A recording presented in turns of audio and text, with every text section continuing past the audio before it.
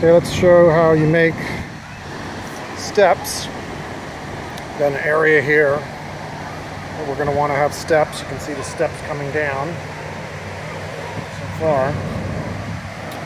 First thing you want to do is make a slant and make sure the sand is firm. Want to have a slanted area you simply push down and pull out. Push down, pull out. Pushing down a little bit, pulling straight left.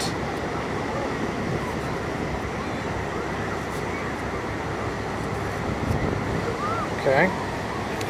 Then usually it's a little rough here, so I cut it back straight down. And that makes a nice edge. And it's very common to undercut right under the edge of the step. And that makes sort of a balcony a more visual effect.